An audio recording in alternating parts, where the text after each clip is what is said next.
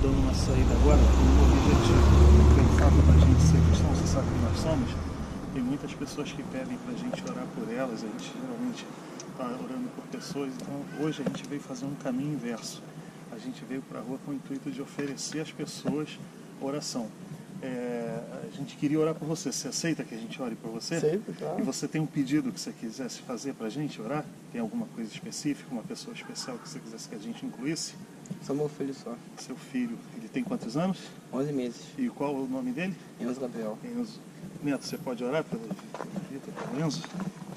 Deus amado, te agradeço por nós estarmos aqui na tua presença. Amém. Venho te pedir especialmente pelo Enzo Gabriel, que o Senhor cuide, proveja tudo o que ele precisa e seu Pai, Deus. Te peço para que os ajude a sempre os manter na tua presença, Deus. Que eles conheçam, que eles reconheçam que só tu és o Salvador, Deus. Te peço para que nos ajude, Deus.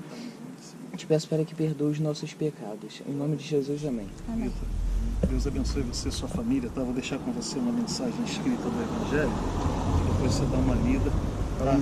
Você já ouviu falar que Jesus veio a esse mundo para perdoar nossos pecados e nos salvar, né? Já, já. Mas ele, embora ele tenha poder para fazer, ele realmente veio para isso, ele não vai perdoar pecados de ninguém, nem na força, nem na violência. Ele não vai salvar ninguém na marra. O que, que acontece? Se você conhece a história, se você crê, você precisa se arrepender dos seus pecados e pedir para ele, Senhor, me perdoe, Senhor, me salve, porque aí ele pode te salvar e te perdoar.